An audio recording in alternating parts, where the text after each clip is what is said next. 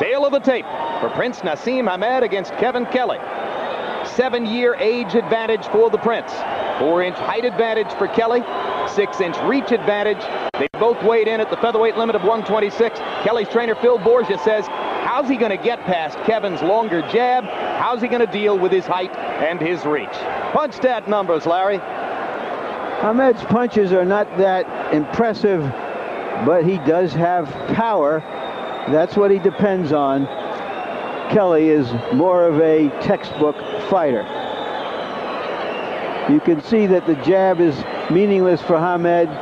It is meaningful for Kelley. Okay, man, this is what it's all about. Remember, protect yourself at all times. Obey my commands at all times. And the best man win. Touch up. Let's go. Come on, guys. Touch it up. All right, let's do this. Inquire. He's at a disadvantage. And that's what happened. Kelley started to go into the wrong kind of stuff. He didn't need that. He got into Naz's world. Has an outstanding right jab. First hard punch of the fight is a straight right hand. You don't want to get out there waiting. Hamed is a puzzle that Kelley is unable to solve. But down goes the Prince on Kelley's first serious landed punch. Second time in his career he's been...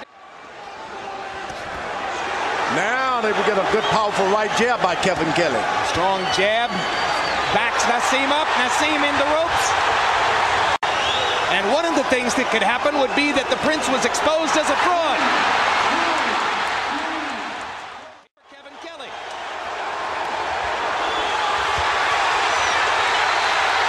Yeah, I think the last knockdown was fluke.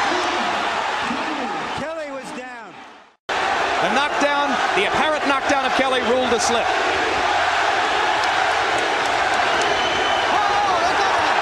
Hard right hand inside by Kelley. I think the mistake he made. There we saw it. Let's go.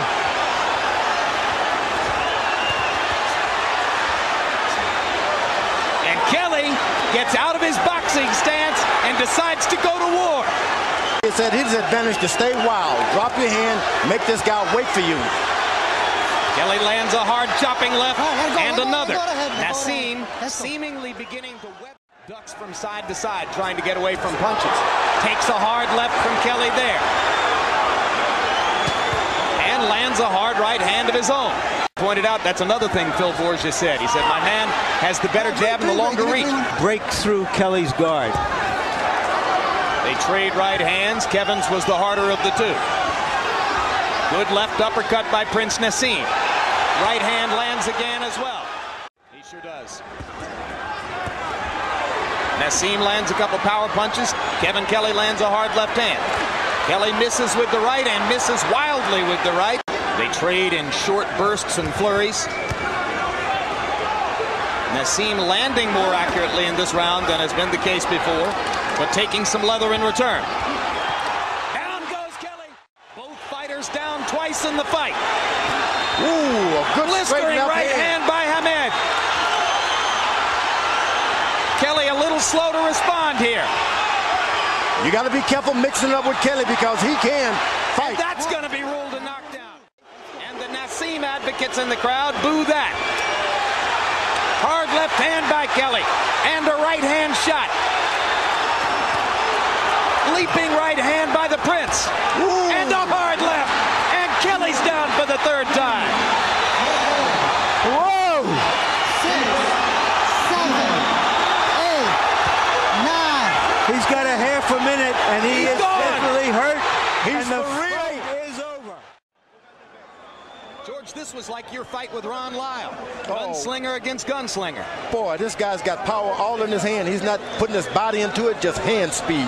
That was the first Prince Naseem knockdown of Kelley in that round. Then here's the Prince going down. I don't really think that was a knockdown. I think that this guy stooped so low, he has a tendency to touch his hands down to the canvas. Well, if, if, he, if his glove grazes the canvas, the referee is within his rights to rule it a knockdown, and Benji Esteves did. And Wow. then that stunning left hand, and Kevin Kelley unable to get up from that left hand. He couldn't beat the count. The winner and still the undefeated WBO featherweight champion of the world, Prince Naseem Hamed.